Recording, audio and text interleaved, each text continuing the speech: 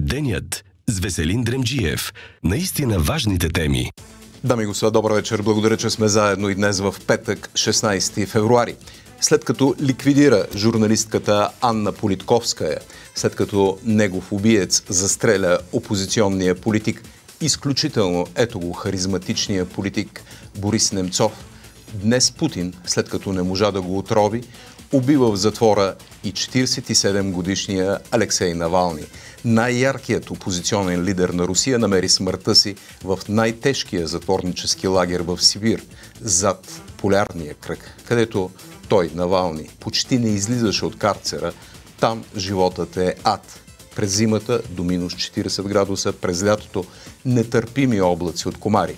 Там го изпрати параноичният диктатор Путин, за да изпълни садистичното си желание да ликвидира всякаква опасност за своята кървава власт. Днешното издание на денят ще бъде почти изцяло посветено на паметта на Навални, който с разкритията на своя антикорупционен фонд показа истината за отвратителния и вреден за Русия корумпиран елит на Путин, както и лично неговата на Путин корупция, включително на няколкото му любовници. Дори разследванията на Навални стигнаха до тук, до София. Той разкри, че лъскавата сграда Вертиго на булевард България е собственост на руския депутат Чепа. Преди няколко дни Бърт БГ съобщи, че в търговския регистр са направени промени в собствеността. Валентина Василева Филаделфес извадил днес справката, която показва също изненадващо, че се губят 20% в собствеността на луксозната кула. Евроатлантиците Пеевски и Борисов памет на Навални биха могли да проверят дали става въпрос за безхаберие на чиновниците или за скрит собственик. В едно записано по-рано видео във филма, посветен на него, Навални отправя тези думи послание към руснаците, ако той бъде убит. Това е нещо абсолютно очевидно за мен. Не трябва да се предаваме. Ако са решили да ме убият, означава, че ние сме невероятно силни. Трябва да използваме тази сила. Запомнете, че това е голяма сила, която под, която е под гнета на тези човечета зли, само защото ние не можем да осъзнаем колко голяма сила сме. Всичко, което е необходимо за тържеството на злото, това е бездействието на добрите хора. Не бездействайте. Минути е, след като съпругата на Навални по време на конференцията за сигурност в Мюнхен разбра за смъртта му, тя каза следните думи.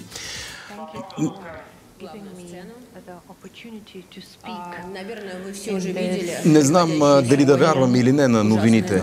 Ужасните новини, които получаваме само от руски правителствени източници, защото от много години не можем да вярваме на Путин и на неговото правителство. Те винаги лъжат. Но ако е истина, искам Путин, всички от неговото обкръжение, приятелите на Путин, неговото правителство да знаят, че ще носят отговорност за това, което направиха на страната ни, на семейството ми, на съпруга ми. И този ден ще дойде много скоро, каза Юлия Навалная. В Москва и в други градове на Русия вече започнаха, както тук на Соловецкия камък в Москва да бъдат полагани цветя, започнаха и първите арести. А иначе тази вечер мой гост ще бъде руснак, избягал от диктатурата на Путин, Виктор Бакоревич. Познавате го добре, собственикът на веригата магазини Березка. Виждаше се, че Путин убива бавно Навални, но сякак, сякаш се очаквахме, че той ще бъде по-силен. Ще видим след малко и последния, последния запис на Навални от вчера в съда. Според вас, убит ли е Навални? 100%. 100% убит или вчера, или днес. Той не е, не е някаква случайност, не е, не е медицински факт. Това е убийство. Виктор Бакуревич. Е, всички демократични лидери по света, включително и в България, посочиха Путин като убиеца на Навални.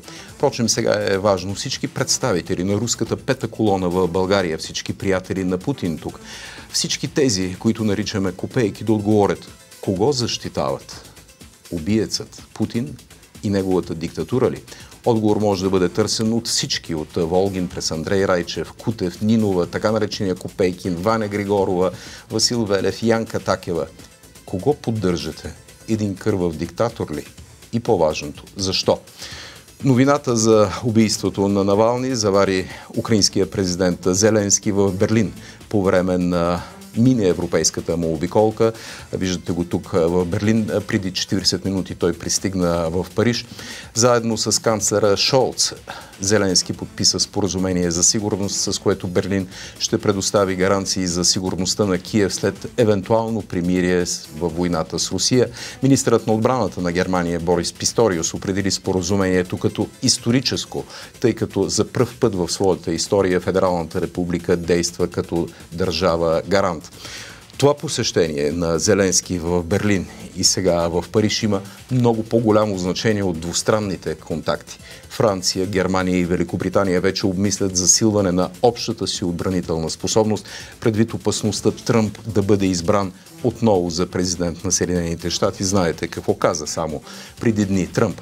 За тази вечершните разговори в момента в Елисейския дворец ще говорим пряко от Париж с Боян Радойков. Добър вечер, господин Радойков. Добър вечер, господин Дренджев. Благодаря, че сте с нас. Ако остане време, ще говорим и за, видял сте ги тези две важни публикации на списанията Експрес и План.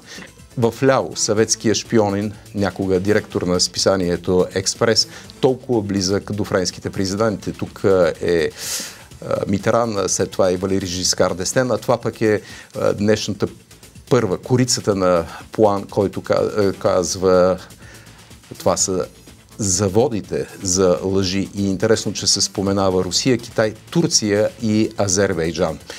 Това е важно, защото френските служби разкриха руската мрежа портал Комбат, съставена, казах ви, от 193 сайта, разпространяващи руска пропаганда. По-късно правителство на Франция официално предупреди, че атаките с дезинформация от страни като Русия ще се увеличават преди изборите за Европейски парламент. В България се подготвя закон, който ще даде възможност за противопоставяне на дезинформацията. За всичко това ще говорим с Спас Иванов, IT експерт от Baseline Cyber Security.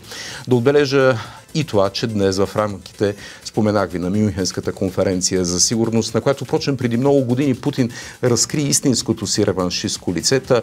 Днес държавният секретар, ето на Съединените щати, Антони Блинкен, се срещна с академик Денков, с Мария Габриел, професор Тагарев и Асен Василев. Блинкен по време на обсъждането на теми в сферите на отбраната и ядрената енергетика е казал, че България е изключителен партньор за Съединените щати, както и за Европа. И накрая да, да отбележа, че Гърция започна да води с много обиколки е, на България. Няма АЕЦ, а ветро и, е, ветрогенератори и фотоволтаици е, правят така, че Гърция вече изнася ток за България. Гърция не бетонира крайбрежието си и привлича българските туристи.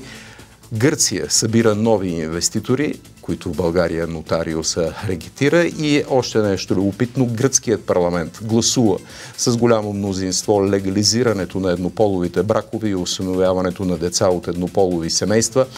Така Гърция става 37-та държава в света и първата православна страна, която легализира еднополовите бракове. Законът беше подкрепен и придвижен лично от министър-председателя Мицотакис, лидер на консервативната нова демокрация. Депутати от неговата партия се противопоставяха на легализирането на еднополовите бракове, но за това пък гласуваха депутати от опозицията, включително и от лявата партия Сириза, чийто лидер Стефанус Каселакис е гей. Две думи за времето сега. На фона на кадри на живо от Лас Палмас, Гран Канария. С поздрав към всички, които гледате в чужбина, денят на живо или на запис, или ни слушате в Spotify, да кажа, че през нощта над западната половина от страната ще бъде ясно, над източна България облачно. Там на отделни места ще има рамежи. Минимални температури тази нощ между 1 и 6 в котловините и низините на Западна България до минус 3 в София, около минус 2. Утре над Западна България ще бъде слънчево, над Източна България ще прерами. Утре максималните температури остават изключително високи за сезона. 10-15 в София, около 12 градуса.